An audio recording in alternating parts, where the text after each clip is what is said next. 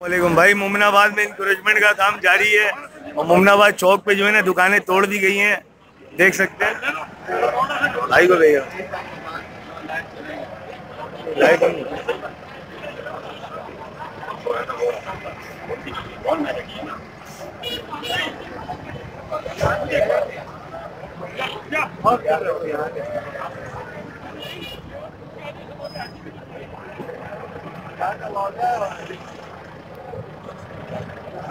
on the go.